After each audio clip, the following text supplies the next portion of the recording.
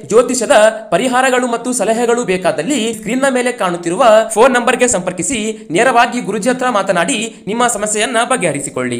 Hi friends good news good news ಚಿನ್ನವನ್ನ ಗಿರಿವಿ ಇಟ್ಟು ಸಾಲ ಪಡೆದುಕೊಂಡವರಿಗೆ ಭರ್ಜರಿ ಗುಡ್ ನ್ಯೂಸ್ ಬಂದಿದ್ದು, ಕೇಂದ್ರ ಸರ್ಕಾರದಿಂದ ಪ್ರತಿಯೊಬ್ಬರಿಗೂ ಖುಷಿ ಸುದ್ದಿ ಸಿಕ್ಕಿದೆ. ಇದಕ್ಕೆ ಸಂಬಂಧಪಟ್ಟಂತೆ ಕಂಪ್ಲೀಟ್ ಇನ್ಫಾರ್ಮೇಶನ್ ಅನ್ನ ಈ ವಿಡಿಯೋದಲ್ಲಿ ತಿಳಿಸಿ ಕೊಟ್ಟಿದ್ದೀವಿ. ಸೊ ವಿಡಿಯೋವನ್ನ ಕಡೆ ತನಕ ನೋಡಿ, ಹಾಗೂ ತಪ್ಪದೆ ಈ ವಿಡಿಯೋಗೆ ಒಂದು ಲೈಕ್ ಮಾಡಿ ಚಾನಲ್ ಅನ್ನ ಸಬ್ಸ್ಕ್ರೈಬ್ ಮಾಡಿಕೊಂಡು ಪಕ್ಕದಲ್ಲಿ ಬರುವ ಬೆಲ್ ಬಟನ್ ಅನ್ನ ಕ್ಲಿಕ್ ಮಾಡಿ ಆಲ್ ಅಂತ ಸೆಲೆಕ್ಟ್ ಮಾಡಿಕೊಳ್ಳಿ.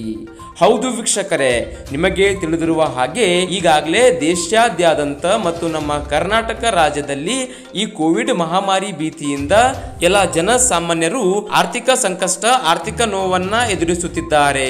ಇದನ್ನ ಗಮನಿಸಿದ ಕೇಂದ್ರ ಸರ್ಕಾರವು ಪ್ರತಿಯೊಬ್ಬರ ಅನುಕೂಲಕ್ಕಾಗಿ ಯಾರು ಚಿನ್ನ, ಗಿರಿವಿ ಇಟ್ಟು ಸಾಲವನ್ನ ಪಡೆದುಕೊಂಡಿದ್ದಾರೆ, ಅಂಥವರಿಗೆ ಒಂದು ಸಿಹಿ ಸುದ್ದಿಯನ್ನ ನೀಡಿದೆ. ಬಹುತೇಕ ನಿಮಗೆ ಗೊತ್ತಿರುವ ಹಾಗೆ ಬಡ ಮತ್ತು ಮಧ್ಯಮ ವರ್ಗದ ಕುಟುಂಬಗಳು ತಮ್ಮ ವಿವಿಧ ಕಾರಣಕ್ಕಾಗಿ ಚಿನ್ನಾಭರಣಗಳನ್ನು ಅಂಗಡಿಗಳಲ್ಲಿ ಮತ್ತು ಬ್ಯಾಂಕಿನಲ್ಲಿ ಹಾಗೂ ಇತರೆ ಸಂಘ ಸಂಸ್ಥೆಯಲ್ಲಿ ಚಿನ್ನವನ್ನ ಗಿರಿವಿ ಇಟ್ಟಿರುತ್ತಾರೆ. ಆದರೆ ಈ ಕೋವಿಡ್ ನಂತಹ ಸಂದರ್ಭದಲ್ಲಿ ಚಿನ್ನವನ್ನ ಬಿಡಿಸಿಕೊಳ್ಳಲು ಸಾಧ್ಯವಿಲ್ಲ.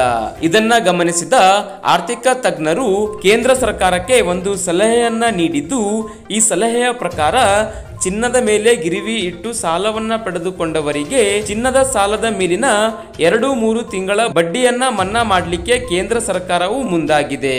ಹೌದು ವೀಕ್ಷಕರೇ, ಈಗಾಗಲೇ ಈ ರೀತಿ ಎರಡು ಮೂರು ತಿಂಗಳ ಬಡ್ಡಿ ಮನ್ನಾ ಮಾಡುವ ಬಗ್ಗೆ ರಾಜ್ಯ ಆಭರಣ ವರ್ತಕರ ಒಕ್ಕೂಟವು ಚಿಂತಿಸಿದೆ. ಸೊ, ಮೂಲ ಆರ್ಥಿಕ ತಜ್ಞರ ಸಲಹೆಯನ್ನ ಪಡೆದುಕೊಂಡು ಚಿನ್ನದ ಸಾಲದ ಮೇಲಿನ ಎರಡು ಮೂರು ತಿಂಗಳ ಬಡ್ಡಿಯನ್ನ ಮನ್ನಾ ಮಾಡಲಾಗುತ್ತದೆ ಎಂದು ಮೂಲ ಮಾಹಿತಿ ತಿಳಿದು ಬರುತ್ತಿದೆ. ಇನ್ನು ವೀಕ್ಷಕರೇ, ಇಲ್ಲಿ ನಿಮ್ಮ ಅನಿಸಿಕೆ ಏನು?